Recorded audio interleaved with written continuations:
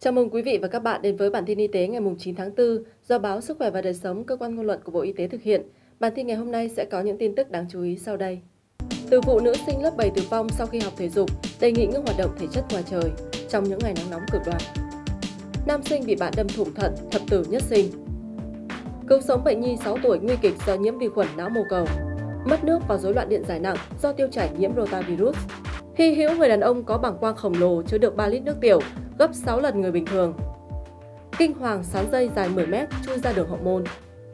Nối thành công cẳng chân đứt lìa cho nữ bệnh nhân va chạm với xe công nông. Tách đôi gan ghép cho hai người lần đầu tiên thành công ở Việt Nam.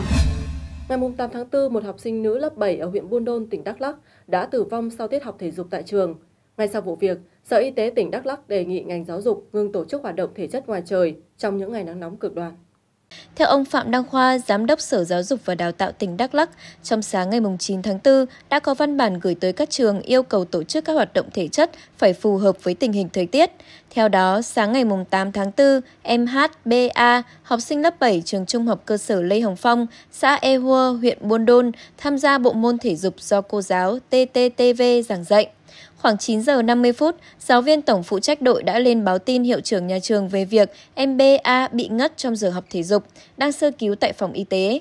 Sau đó, nhà trường đưa học sinh lên trung tâm y tế huyện để cấp cứu và chuyển lên bệnh viện đa khoa vùng Tây Nguyên. Đến 11 giờ 46 phút, bệnh viện thông báo nữ sinh đã tử vong. Bác sĩ tại Bệnh viện Đa khoa vùng Tây Nguyên cho biết, em BA được chuyển đến bệnh viện trong tình trạng hôn mê sâu, ngưng hô hấp tuần hoàn, ngưng tim, ngưng thở. Sau khi tiếp nhận, các bác sĩ đã khẩn trương thực hiện các biện pháp để cấp cứu người bệnh. Sau khoảng 20 phút cấp cứu nhưng không có tim lại, bác sĩ chẩn đoán em BA tử vong ngoại viện, chưa rõ nguyên nhân. Việc hoạt động dưới thời tiết nắng nóng có thể gây ra tình trạng sốc nhiệt. Đây là tình trạng bệnh lý tăng thân nhiệt quá cao, gây rối loạn hệ thống thần kinh trung ương, rối loạn ý thức, hôn mê, co giật và có thể tử vong. Do vậy, nhà trường cần chú ý linh hoạt các môn học thể dục, tránh để trẻ tham gia các hoạt động thể chất mạnh dưới trời nắng gắt. Các bác sĩ Bệnh viện Hữu nghị Việt Nam Cuba Đồng Hới, tỉnh Quảng Bình vừa kịp thời cứu sống một nam sinh bị bạn đâm thấu ngực trái, thủng thận. Hiện tại tình trạng sức khỏe của em đã ổn định và tự ngồi dậy sinh hoạt bình thường. Thông tin từ Bệnh viện Hữu nghị Việt Nam Cuba Đồng Hới, Quảng Bình. Mới đây, đơn vị đã cấp cứu một học sinh trường trung học cơ sở trên địa bàn thành phố Đồng Hới sau khi học sinh này có xô sát và bị bạn đâm thủng bụng bằng dao. Cụ thể, trước đó vào ngày 4 tháng 4, nam sinh tên là HGB, 15 tuổi, có mâu thuẫn với một bạn cùng trường. Vào giờ ra chơi, B đã bị bạn đâm vào vùng mạn sườn trái, gây chảy máu nhiều. Ngay sau đó, nam sinh được đưa đi cấp cứu trong tình trạng tỉnh táo, tiếp xúc được, da niêm mạc nhạt, mệt, đau ngực, vã mồ hôi, buồn nôn, đau bụng hạ sườn trái. Qua thăm khám ban đầu, các bác sĩ xác định bệnh nhân bị dao đâm thấu ngực trái khoảng 2 cm. Nhân thăm thì gây chảy máu, đứt mạch máu của thận chảy máu và và, và mà chảy máu tiến triển ta trên vòi ở bụng ấy thì uh, cái tình trạng máu tiếp tục chảy như vậy thì sau đấy thì bệnh nhân là có biểu hiện uh, sốc ngày càng nặng hơn đã được hội trận uh, rất là nhiều chuyên khoa gồm bộ chuyên khoa ngoài chuyên khoa ờ, uh, tiết niệu chuyên khoa ngoài tiêu hóa rồi hồi sức liên quan can thiệp. Sau khi uh, bốn năm chuyên khoa cùng nhau hội trần với nhau thống nhất là à, chọn được phương án là đưa vào phòng can thiệp để vừa hồi sức cấp cứu truyền máu truyền dịch đồng thời uh, nút mạch uh, dưới ít quang số hóa cho nên để cầm cái, uh, cái, cái máu đang chảy đấy thì uh, cái tại cái thời điểm ờ, vào để mà nút mạch thì huyết áp tụt còn uh, còn 59 trên 30 mm thủy ngân. Bệnh nhân có biểu hiện sốc nặng. Sau đấy thì vừa cả vừa vừa hồi sức vừa nút mạch thì sau khoảng 30 phút thì cái cái chỗ mà máu cái, cái đầu mạch phần mới đứt chảy máu tiến triển đó là được được được, được nút lại thì thì bệnh nhân sau đó nó nó huyết áp được nâng lên. Đấy, và đến uh, hôm nay thì uh, bệnh nhân là đã hồi phục cũng khá nhiều rồi tuy nhiên ờ, còn lại một số cái uh, di chứng như chảy máu trong ổ bụng và trong cái màng phổi thì đang tiếp tục uh, điều trị để cho từng ngày nó hết dần Ngày 9 tháng 4, Bệnh viện Nhi đồng thành phố cho biết, bệnh viện vừa tiếp nhận và cứu sống thành công một trường hợp trẻ nhiễm khuẩn huyết do tác nhân vi khuẩn não mô cầu nhóm B. Bệnh nhi là NHK 6 tuổi, ngụ ở Hòa Thành, Tây Ninh. Sau gần 2 tuần điều trị, trẻ cải thiện dần, tỉnh táo, cai được thở máy và hết sốt. Qua khai thác bệnh sử được biết, trẻ bắt đầu có triệu chứng sốt cao, đau nhức khắp người, đau bụng, nổi tử ban từ vùng mặt lan thân mình. Tới ngày thứ hai, bệnh nhi nhập viện địa phương và được chẩn đoán theo dõi nhiễm khuẩn huyết. Bệnh nhi đã được điều trị kháng sinh và chuyển tới bệnh viện Nhi đồng thành phố. Trẻ nhập bệnh viện Nhi đồng thành phố trong tình trạng lừ đừ, môi tái, chi mát, mạch quay bắt nhẹ, huyết áp tụt, bụng mềm, cổ mềm, họng đỏ, xuất huyết dạng chấm, tử ban mặt, ngực, lưng, bụng, tứ chi, giải rác toàn thân. Bệnh nhi được chẩn đoán bị sốc nhiễm trùng, nhiễm khuẩn huyết tối cấp do não mô cầu. Xét nghiệm bạch cầu tăng cao, CRP, xét nghiệm đánh giá tình trạng viêm hoặc nhiễm trùng là 151 mg trên lít. Trẻ đã được nằm phòng cách ly, điều trị tích cực, đặt nội khí quản, thở máy, dịch truyền chống sốc, vận mạch dưới hướng dẫn đo huyết áp xâm lấn và đo áp lực tĩnh mạch trung tâm, kháng sinh phổ rộng, an thần, điều chỉnh rối loạn điện giải, toan kiềm. Kết quả xét nghiệm cho ra tác nhân là vi khuẩn não mô cầu. Các mẫu thử đã được vận chuyển đến Viện Pasteur để thực hiện PCR phân tích. Kết quả phân tích xác định được tác nhân gây bệnh là não mô cầu serogroup B. Đây là tuyếp huyết thanh ít gặp hơn so với tuyếp huyết thanh ACIW135. Sau gần 2 tuần điều trị, trẻ cải thiện dần, tỉnh táo, cai được máy thở, hết sốt. Đến thời điểm hiện tại, vi khuẩn não mô cầu được phát hiện có 13 chủng, nhưng ở Việt Nam nguy hiểm và phổ biến nhất là 5 chủng A, B, C, I, W135. Do đó nên tiêm vaccine để bảo vệ trẻ khỏi năm nhóm huyết thanh nguy hiểm gây bệnh nhiễm khuẩn huyết hay viêm màng não mô cầu. Ngoài ra khi phát hiện trẻ có biểu hiện sốt cao, đau đầu, buồn nôn và nôn, cổ cứng, cần đến ngay cơ sở y tế để được thăm khám và điều trị. Thời tiết nắng nóng là thời điểm các bệnh lý về đường hô hấp và đường tiêu hóa ở trẻ tăng cao, đặc biệt là tiêu chảy cấp. Mới đây, khoa khám và điều trị tự nguyện Bệnh viện Sản Nhi Nghệ An đã tiếp nhận và điều trị cho bệnh nhi PMT, 4 tuổi, trú tại Nghệ An, bị tiêu chảy do rotavirus, dẫn đến mất nước, rối loạn điện giải nặng. Theo lời kể của mẹ bệnh nhi, ở nhà bệnh nhi có biểu hiện đi ngoài phân lỏng liên tục, 8 đến 10 lần trên một ngày, kèm theo nôn nhiều lần và sốt cao 39 độ C. Gia đình cho bệnh nhi uống thuốc và chăm sóc tại nhà 3 ngày, nhưng bệnh tình không thuyên giảm, nên đã đưa bệnh nhi đến bệnh viện Sản Nhi Nghệ An để nhập viện. Thời điểm nhập viện, bệnh nhi có tình trạng nổi ban mày đay toàn thân, bụng trướng, mắt trũng, thở nhanh, kích thích mất ngủ, tiểu ít. Sau khi thăm khám và xét nghiệm máu, các bác sĩ nhận định bệnh nhi mất nước nặng, rối loạn điện giải, hạ kali máu, tăng natri máu và có biểu hiện suy thận cấp do mất nước. Với tình hình chuyển biến nặng của bệnh nhi, các bác sĩ đã khẩn trương tiến hành bù dịch, cân bằng rối loạn điện giải. Sau thời gian điều trị tích cực, hiện nay sức khỏe của bệnh nhi đã ổn định hơn. Chia sẻ về tiêu chảy cấp do rotavirus, Phó sư tiến sĩ bác sĩ Nguyễn Thị Văn Hồng, nguyên phó trưởng khoa tiêu hóa, Bệnh viện Bạch Mai cho biết. Tất cả mọi người thì đều có nguy cơ mắc rotavirus cả. Tuy nhiên uh, trẻ em là đối tượng dễ bị mắc nhất do cái tình trạng rối loạn nước điện giải rất nhanh xảy ra với các cái ba cái dấu hiệu là sốt, nôn và cả cái uh, tiêu chảy nữa. Với ba dấu hiệu là sốt, nôn và tiêu chảy. Ngoài ra còn có thêm cái triệu chứng đau bụng làm cho uh, trẻ em ăn rất là kém, uống cũng rất là kém cho nên làm cho cái tình trạng rối loạn nước điện giải diễn biến nặng lên. Tiêu chảy cấp do rotavirus là nguyên nhân phổ biến nhất gây tiêu chảy nặng ở trẻ sơ sinh và trẻ nhỏ. Virus tấn công nhanh vào hệ tiêu hóa gây tiêu chảy nặng có thể lên đến 20 lần trên một ngày. Nếu trẻ bị nôn nhiều, tiêu chảy tăng lên trong ngày mà không thể kiểm soát được tại nhà, trẻ không uống được nước, bứt rứt kích thích, ly bì mệt mỏi, đó là dấu hiệu mất nước nặng, đe dọa đến tính mạng. Cha mẹ cần đưa trẻ nhập viện ngay lập tức. Trường hợp hy hữu xảy ra trên một bệnh nhân nam 58 tuổi.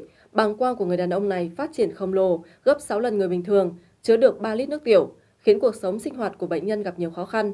Sau phẫu thuật, hiện người bệnh ổn định và vết mổ khô, rút thông đi tiểu tốt. Các bệnh đặc biệt này là ông Nguyễn Văn Tê, 58 tuổi, ở Vân Đồn, Quảng Ninh. Ông Tê cho biết, ở nhà thường thấy bụng dưới to và sau khi đi tiểu vẫn không thoải mái nên đi viện khám. Qua kết quả siêu âm và chụp các lớp vi tính, các bác sĩ phát hiện túi thừa bằng quang kích thước lớn 15 x 20 cm và tuyến tiền liệt phì đại. Các bác sĩ chẩn đoán bệnh nhân bị túi thừa bằng quang, u phì đại tuyến tiền liệt, chỉ định phẫu thuật cắt túi thừa bằng quang và xử trí khối phì đại. Ca phẫu thuật được thực hiện bởi bác sĩ chuyên khoa 2 Phạm Việt Hùng, trưởng khoa ngoại cùng với các cộng sự và bác sĩ chuyên khoa 1 Phạm Trung Đức, pháo khoa gây mê hồi sức. Mặc dù bệnh nhân đã đi tiểu trước mổ, nhưng khi đặt xoăn tiểu trong mổ thì số lượng nước tiểu còn dư trong bảng quang và túi thừa lên tới 3.200ml. Bệnh nhân được phẫu thuật theo đường dưới phúc mạc, kiểm tra thấy bảng quang dặn to, có thông với một túi thừa dung tích lớn ở bên thành trái. Tuyến tiền liệt, phi đại đẩy vào lòng bảng quang, gây đáy khó và giãn bảng quang các bác sĩ đã tiến hành phẫu tích, cắt bỏ túi thừa bằng quang và bóc tách khối u tuyến tiền liệt. Ca mổ diễn ra thuận lợi sau khoảng một tiếng phẫu thuật. Siêu âm và chụp bằng quang kiểm tra sau phẫu thuật thấy bằng quang trở lại vị trí bình thường, lượng nước tiểu tồn dư sau mổ không đáng kể. Hiện tại, người bệnh đã ổn định, vết mổ khô, rút thông đi tiểu tốt. Do có thói quen ăn gỏi cá, tiết canh và nem sống, người đàn ông 50 tuổi ở Thái Nguyên đã đi đại tiện ra nhiều đốt sán. Thậm chí sán còn tự chui ra qua đường hậu môn. Bệnh nhân được chẩn đoán nhiễm ký sinh trùng, sán dây. Sau khi điều trị, bệnh nhân sổ được con sán dài khoảng 10 mét. Ông TVN chia sẻ, tôi có sở thích ăn đồ tái sống với tiết canh, tần suất dày đặc. Vì thế, 10 năm trước tôi đã phải điều trị bệnh run sán. Đợt này đi đại tiện tôi thấy có sán ra theo, nên tôi đi kiểm tra xem có vấn đề gì không. Về đây tôi được làm các xét nghiệm thì biết mình mắc sán dây. Sau khi điều trị, tôi sổ con sán khoảng 10 mét. Theo các bác sĩ khoa virus ký sinh trùng, trường hợp này cần nhập viện bởi thứ nhất, tẩy sán ở nhà không sạch sẽ, không đảm bảo, rất dễ lây cho người khác. Thứ hai là không được theo dõi bệnh nhân uống thuốc và con sán ra như thế nào. Để tẩy sạch được sán thì phải ra được đốt và đầu sán. Nếu còn đốt và còn đầu sán thì nó còn phát triển tiếp, như bệnh nhân này đã từng tẩy sán nhưng chưa hết. Bác sĩ chuyên khoa 2 Nguyễn Thanh Bình, Phó trưởng khoa virus ký sinh trùng Bệnh viện nhiệt đới Trung ương cho biết, bệnh sán dây là do các loài sán dây trưởng thành gồm Taenia saginata, Taenia solilum và Taenia acid atica ký sinh trong ruột gây nên. Bệnh sán dây có thể ký sinh ở người dưới hình thức sán trưởng thành và ấu trùng. Bệnh sán dây gây bệnh ở người thường do sán dây lợn và sán dây bò gây nên.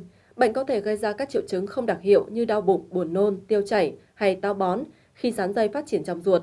Để phòng bệnh, bác sĩ khuyến cáo người dân nên ăn chín uống sôi, không ăn uống thực phẩm sống tái, đồng thời giữ vệ sinh môi trường xung quanh. Thực hành vệ sinh tay đúng cách, rửa tay bằng xà phòng trước khi ăn và sau khi đi vệ sinh. Hôm nay ngày 9 tháng 4, Bệnh viện Đa khoa vùng Tây Nguyên cho biết đã phẫu thuật nối thành công đoạn chân bị đứt rời cho bệnh nhân bị tai nạn giao thông. Sau 24 giờ phẫu thuật, đến nay tình trạng lưu thông các mạch máu ổn và sức khỏe của bệnh nhân dần hồi phục. Bệnh nhân là PTP, sinh năm 1996 tại huyện Buôn Đôn, tỉnh Đắk Lắk. Vào dạng sáng ngày 8 tháng 4, bệnh nhân cùng chồng đang lưu thông trên đường thuộc địa bàn huyện Buôn Đôn thì xảy ra tai nạn với xe công nông. Đến khoảng 5 giờ, chị P được đưa vào viện cấp cứu với chẩn đoán đa chấn thương, dập gan, dập phổi, đứt lìa đoạn chân phải, gãy xương cánh tay phải, gãy đầu trên xương trụ. Ngay lập tức, bệnh nhân được đưa vào phòng phẫu thuật để cấp cứu. Bác sĩ chuyên khoa 2 Nguyễn Minh Trực, trưởng khoa chấn thương chỉnh hình Bệnh viện Đa khoa vùng Tây Nguyên cho biết, cẳng chân phải của chị P bị đứt lìa, vết thương dập nát nên ca phẫu thuật gặp nhiều khó khăn. Các bác sĩ đã khâu nối các mạch máu, gân, dây thần kinh, xương cho bệnh nhân. Do vết thương dập nát nên để khâu nối được vết thương, các bác sĩ đã phải cắt ngắn xương, mạch máu và gân mới có thể khâu nối được chân cho bệnh nhân.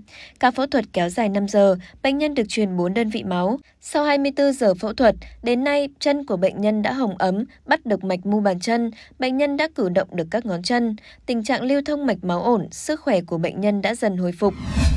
Cuối tháng 3 năm 2024, nam thanh niên sinh năm 1988 ở Quảng Ninh bị chấn thương sọ não nặng sau tai nạn giao thông. Điều trị và hồi sức tích cực nhưng kỳ tích không đến, gia đình bệnh nhân đã đồng ý hiến mô tạng sau chết não. Từ gan của nam thanh niên này, các bác sĩ đã tách đôi và ghép thành công cho hai người, một trẻ em và một người lớn. Ngày 31 tháng 3 năm 2024, Trung tâm Điều phối ghép tạng quốc gia nhận được thông tin từ Bệnh viện Việt Nam Thụy Điển Uông Bí. Bệnh nhân bị tai nạn giao thông, được đưa đến bệnh viện trong tình trạng hôn mê, Glasgow 3 điểm, đồng tử hai bên giãn tối đa, mắt phản xạ ánh sáng, được điều trị và hồi sức tích cực. Các y bác sĩ đã cố gắng hết sức tìm cơ hội sống nhưng kỳ tích không đến. Khi được bác sĩ tư vấn viên đề cập đến việc hiến mô tạng sau chết não, gia đình đã đồng ý hiến mô tạng.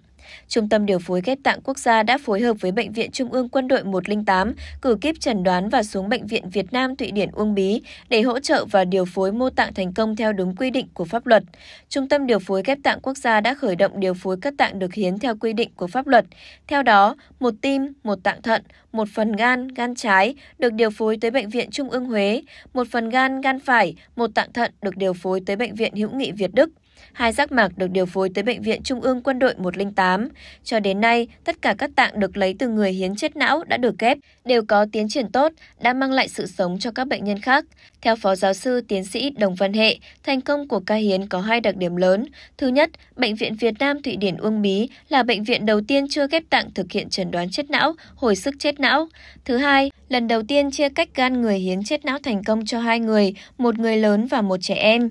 Đây là cột mốc quan trọng trong việc việc xây dựng nòng cốt, hình thành và mở rộng mạng lưới hiến tạng trong toàn quốc mà trong thời gian qua trung tâm đã nỗ lực xây dựng, đồng thời là bài học kinh nghiệm cho các bệnh viện tuyến tỉnh, tuyến huyện, nơi có điều trị, có các bệnh nhân chết não tiềm năng hiến tạng. Thông tin vừa rồi cũng đã khép lại bản tin của chúng tôi ngày hôm nay. Cảm ơn quý vị và các bạn đã quan tâm theo dõi. Xin kính chào tạm biệt và hẹn gặp lại trong bản tin sau.